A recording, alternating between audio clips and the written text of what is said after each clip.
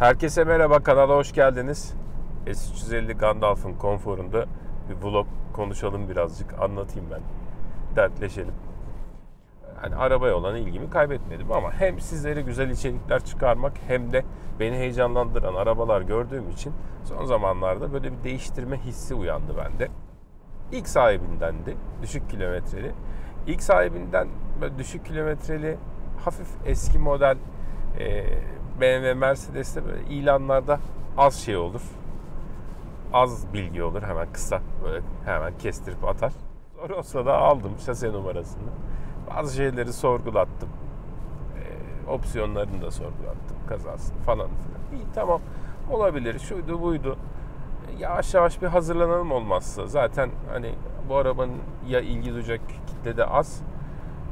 Şu bu derken işte dedik S350'yi hazırlayalım fotoğraflarıydı, şuydu buydu duyuralım falan satacağımızı.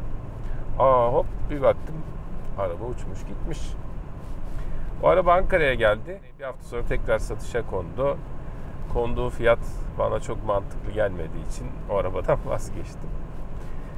Yani yoru, yoruyor yani. Hani ona psikolojik olarak hazırlanıyorsun, ümit ediyorsun. Hadi şunu yapayım, bunu yapayım. Hadi deyince de olmuyor.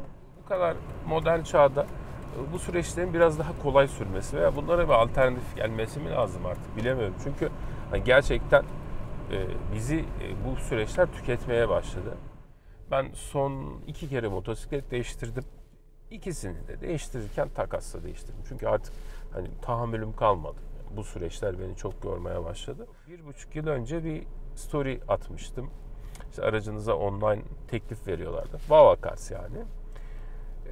O zamanlar işte aracınıza teklif almak için nasıl ulaşabileceğinizi size söylemiştim Instagram storiesiyle. Yine DM'ler gelmişti yani şüpheler içeren ya işte öyle olur mu böyle olur mu şeklinde. DM'lerde falan bana öyle dediniz ama şimdi baktığım zaman normal alım e, araba satışında Vavakars rutine girmiş. Bir arkadaşım vardı işte motosiklet alacağım arabayı şu fiyatı alsam mı satsam ne yapsan kafasına. Ya abi dedi zaten Babakar şu fiyatı veriyor kafamda o fiyat sabit. İşte bakacağım acele, acelem olursa e, şöyle yapacağım olmazsa şöyle yapacağım. Konuşurken e, adamın rutinine girmiş. Bir başka nokta bizim doktor grubu var. Facebook'ta işte e, doktordan satıldık araba diye. O grupta da insanlar saçakları arabayı altına şöyle yazıyorlar. Babakar şu fiyatı veriyor. Şu gün vereceğim. Yani isteyen doktor arkadaşlara yardımcı olmak adına gelsinler buyursunlar şey yapalım. Bu fiyattan ben de onlara vereyim şeklinde. Yani demem o ki insanların rutin e, işleyişine artık bu şey girmiş. E, Vavakarsa olayı girmiş. E tabi şimdi biz alternatif ararken dedik ki fark ettiğim üzere bir baktım şey e, Vavakars artık araba satıyor. E tabi şüpheyle yaklaş vesaire ben arabacıyım dedim bir inceleyeyim yani nedir ne değildir bakalım ne durumda sizlere de bunu aktarmak istedim. Öncelikle işte e, yüzlerce araba satılıkmış şu an an itibariyle. Ve internetten e, her zaman işte bir şeyler paylaşıyoruz. Kitaplar, kozmetik ürünler, erkek bakım ürünleri, el aletleri vesaire. Bunları tıklıyorsunuz. Kargo ile evinize kadar geliyor. İstanbul'da Ankara'daysanız arabayı özel kapalı kamyonlarıyla bayağı havalı bir şey onu sonra anlatırım sizin kapınıza kadar getiriyorlar. Şimdilik sadece İstanbul'da Ankara'daymış. Yani internetten araba alıyorsunuz. Tıkla. Süreç nasıl işliyor tabii işte değil mi? Araştırın. Ee, önce işte bu arabaların içinden seçiyorsunuz. Alışık olduğunuz sitelerdeki gibi arabanın marka modelini seçiyorsunuz. Atıyorum işte BMW 5 serisi veyahut da Renault Clio. Seçenekler geliyor. Her zamanki bilgiler sabit işte. Motor seçeneği, kilometresi, yılı, hasar durumu onları inceliyorsunuz. Kusurlar diye bir kısım var. Fotoğrafları çok ayrıntılı. Arabanın kendi fotoğrafları. Sabah güneşi güzele mi doğuyordu? e, arabanın seçeneklerini o kusurlar kısmı, şey var fotoğrafları falan kaliteli dedim. Kusurlar kısmına giriyorsunuz.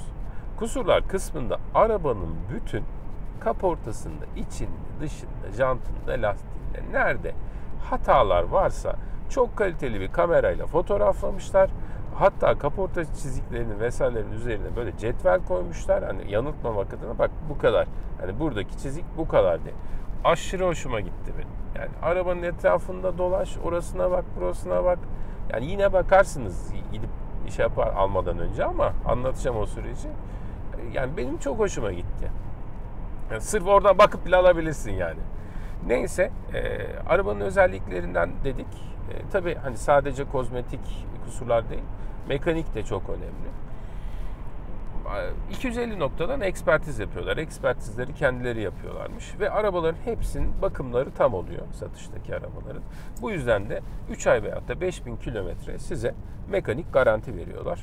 Ve 14 e, gün içinde sıkıntılarınız olursa, hoşunuza gitmezse belli şartlar dahilinde araba iade edip parasını geri alabiliyorsunuz. Böyle rahat bir süreç. Arabanın işte tramer bilgisi vesaire hepsi o bilgiler o sayfanın da var. Yani bir sayfada istediğiniz her şeyi buluyorsunuz. Karar verdiniz ne oluyor? E, kredi kartıyla bir 2000 lira ödeme yapıyorsunuz. Bu ödeme EasyCo güvencesiyle yani param ne oldu ne gitti aklınıza soru işareti olmuyor. EasyCo yani birçok platformda e, kullanılan bir ödeme e, aracı. Kredi kartıyla 2000 lira ödeyince 3 gün araba size opsiyonlanıyor. Sonrasında işte finansman işi, parayı ödüyorsunuz. Finansmanda size kredi de sunuyorlar. Bir sürü kredi seçeneği var ödeme konusunda. EFT yapıyorsunuz tabii parayı. Kredileri de araştırırsınız. Bu süreçler e, size Vavakars'ın müşteri temsilcisi telefon yoluyla bütün ayrıntıları anlatıyor. Ne zaman ne yapmanız gerektiği. O kişilerle görüşerek bu süreci idare ediyorsunuz gayet rahat şekilde parayı ödüyorsunuz. Parayı da ödedik arabayı almadan hani soru işareti bende de olur yani hepimizde olur.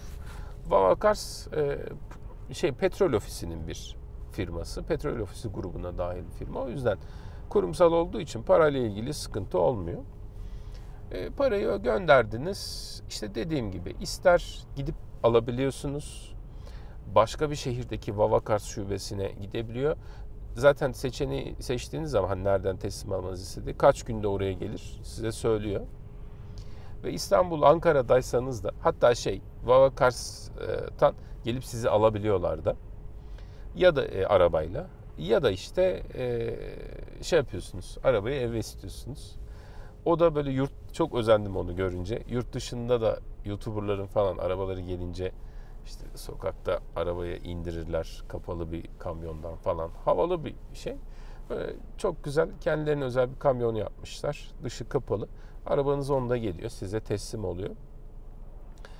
Ee, güzel bir süreç. Hani ben de doğru arabayı bulursam neden kullanmayayım? Hani bakıyorum arada.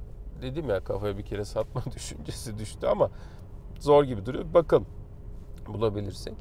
Ben gibi e, pazarlık edemiyorsanız ne bileyim teknolojik şeyleri seviyorsanız, bu süreçler sizi bugüne kadar çok tükettiyse e, alabilirsiniz. Yani hani pazarlık süreci de insanı çok yoran bir süreç çünkü. Sizlere aktarmak istediklerim bugünkü videoda bu kadardı. E, umarım hoşunuza gitmiştir. Bir şeyler paylaştım sizinle. Araba işi gerçekten beni çok yordu. Yani o yüzden dertleşmek istiyorum. E, eskiden hani biraz daha hızlı ilerliyordu artık yani iyice zorlaştı. Bakalım nasiptir, kısmettir. Ne olacağını göreceğiz. Bir dahaki içeriğimde görüşene kadar kendinize dikkat edin. Görüşürüz.